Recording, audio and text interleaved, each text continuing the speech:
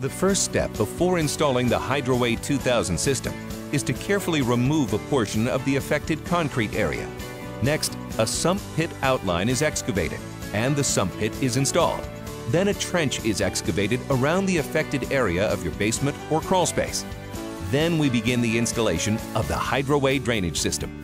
At this home, we have two common problems that happen at many homes. Rainwater that soaks into the soil will typically come in the cove joint where the wall meets the footing, or it'll come up underneath the footing.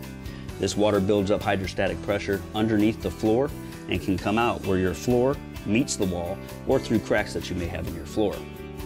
What we're going to do here is install the Hydraway drainage system. Now this is a concrete foundation. If it were a block foundation, one of the things that would be necessary for the technicians to do would be to drill holes into the cells of the block to allow any water that may get into the block to drain out and into our system.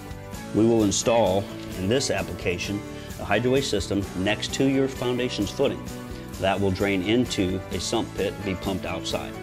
Then we will also put a bridging material on top of the footing. Because the Hydraway system does not depend on rock for a filter, the trench is then backfilled with the previously excavated soil. After backfill is complete, concrete is poured on top and carefully troweled smooth.